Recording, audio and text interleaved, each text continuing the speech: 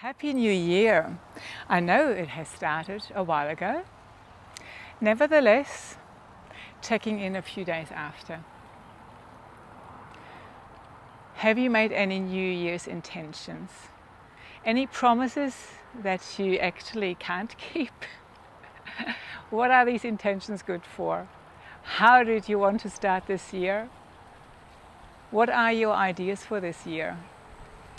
Well, I share what's my idea. My idea, my main idea is to just be honest with myself, to keep on growing, to keep on exploring life, to stand somewhere where I'm looking into the unknown, open myself to unknown worlds, to unknown experiences. We can only wish for things that we know or what we have seen. So just opening yourself up for something, or I will open myself up for something that um, hasn't been taught to me.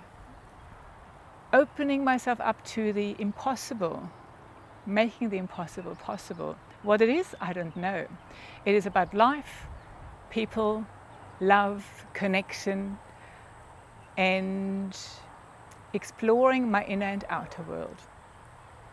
One thing I want to talk about today is all this face yoga. No matter when, where I am on social media, it pops up here and there for me. You know, that I should get rid of my wrinkles and this and do all face yoga. I'm wondering why on earth are they calling it yoga? What is yoga? Yoga is being authentic, being connected, being in unison with yourself, with your body, mind, and spirit, that just exploring what it means that personality, the person you are, the essence. The essence is within, and all these other layers are around. So, why on earth do face yoga?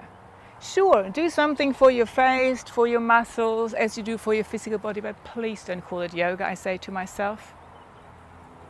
I hope and wish for you a year of authenticity, of where you can just be the person you are meant to be, the person you are.